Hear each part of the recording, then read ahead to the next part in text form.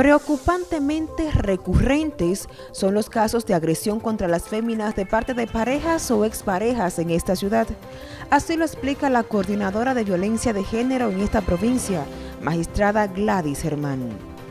En esta demarcación eh, el, auge de las denuncias es bastante amplio. Aquí oscila ya entre eh, el día a día eh, de hasta 30 y 35 nos llegan solamente entre, porque ahí se incluye lo que es género, intrafamiliar y delitos sexuales, los cuales son muchos también.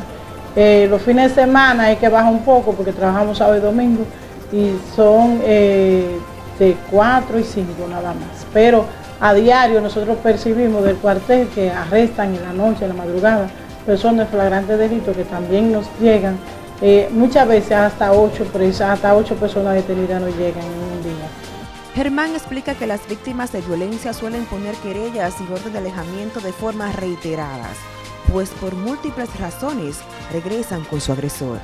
Constantemente nosotros hacemos el proceso, lo realizamos, le presentamos la acusación y todavía no ha terminado ese primer proceso cuando ya hay un segundo proceso.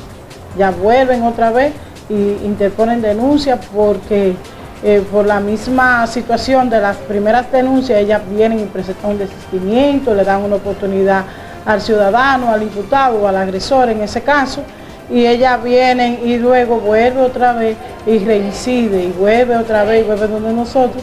Aclara que contrario a lo que se piensa, no solo las mujeres de casos recursos son víctimas de agresión intrafamiliar o de género. Bueno, realmente eh, eh, eh, la persona siempre dice eso, de que, ah, que son de bajos recursos, pero realmente no es así. Lo que pasa es que de bajos recursos vemos más personas, por eso la vemos así. Pero aquí vienen personas y señoras de toda, de toda naturaleza, tanto ya a nivel profesional, nosotros decimos mujeres que son profesionales, mujeres de clase media, mujeres de clase alta, nosotros decimos también. Giovanni Cordero, NTN, su noticiero regional.